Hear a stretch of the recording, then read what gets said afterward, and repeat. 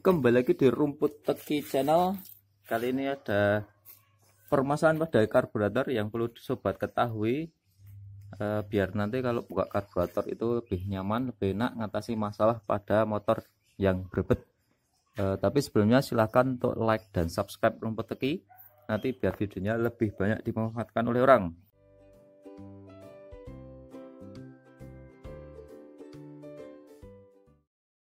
ke topik masalahnya pada karburator ini kadang ada trouble yang berebet atau tidak tenaga eh, putaran tinggi nggak stabil tenaga nggak stabil.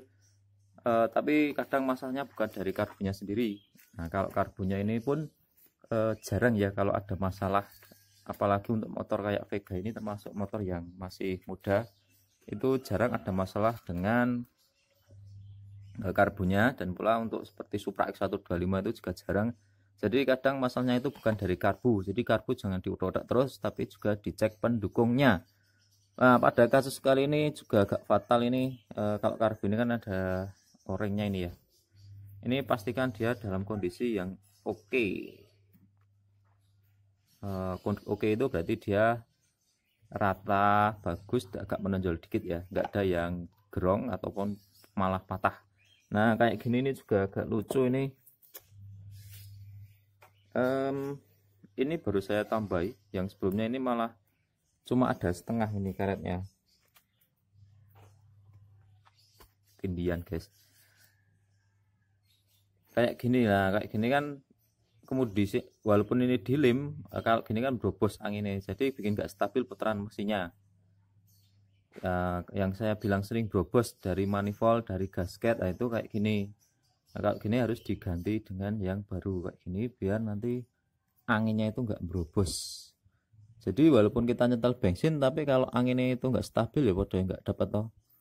Dan pula untuk model-model untuk kayak gini mungkin cuma grand ya masalahnya grand enggak ada vakum bensin enggak ada vakum untuk pembuangan kayak gini. Di sini ada dua buah selang yang di manifold ini mirip juga dengan motor metik ya. Motor metik vario ini ada dua selang juga di bagian manifold. Yang satu untuk narik bensin ini yang satu untuk eh, pembuangan yang lebih ramah lingkungan. Nah biasanya kalau motor yang pakai kayak gini dia ada trouble di bagian selang atau bagian vakumnya. Jadi ketika sobat ini disedot ini nggak mau vakum brobos terus. Nah karena selangnya ini sudah nggak nyantel dengan bagus ini. Jadi kalau ini dipasang di sini ini dia agak kocak. Gerak-gerak gini ya.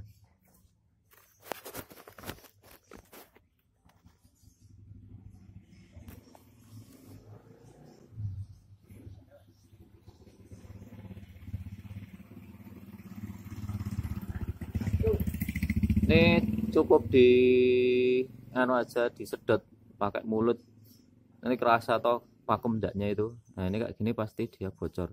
Dari kondisi pun ini sudah melar ya. Dan pula yang ujung sebaliknya ini juga sudah malah ini sudah dipotong. Karena untuk kayak gini memang cepat mudah melar. Walaupun kadang ada besi penahannya ada kawatnya yang buat kencengin tapi ini sudah sering kali melar panas jadi nggak kembali lagi. Nah ini solusinya ganti selang naik lagi ya dibeliin aja setang kayak gini yang panjangnya biasanya ada yang satu meter ada yang 30 cm itu beli aja nanti disimpan sisa nih. Biar lebih akurat dalam perbandingan angin dan udaranya angin dan bensinnya. Nah kalau yang sini juga pula nih dicek ya guys. Yang belakang ini dicek disedot. Apakah dia berobos atau tidak? Ini juga sering kali berobos kalau dia nggak mau vakum disedot kok ada anginnya terus berarti ini selangnya ada yang trouble atau juga dari sistemnya yang rusak. Ya untuk masalah di uh, insulator dan o-ringnya ini pasti tahu ya masalahnya kayak gimana. Kalau ini dipasang kayak gini pasti nggak stabil. Nah, nanti kita coba cek untuk yang pasang selang yang lama dan baru bagaimana perbedaannya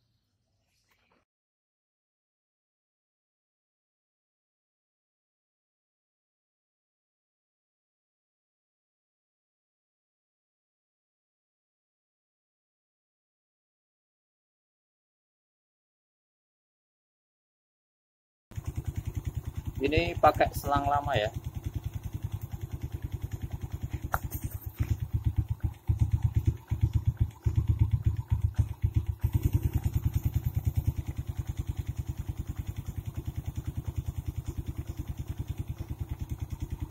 Kalau kebuka kayak gini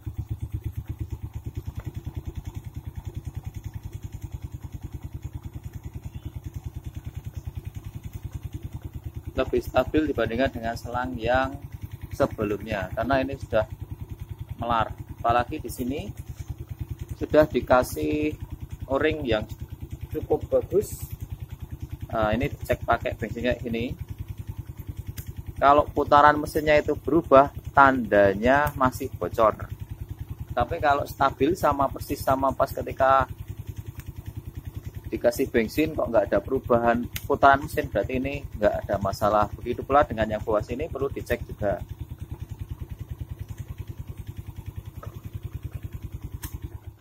Ya masalah yang pelik pada karburator kadang bukan masalah dari karbu tapi dari part pendukungnya seperti selang-selang dan packing atau o-ring manifold jadi jangan khawatir, tetap dicoba. Untuk selalu belajar bersama Rumput Teki Channel. Silahkan like dan share videonya jika memang ini bermanfaat. Rumput Channel, mantap.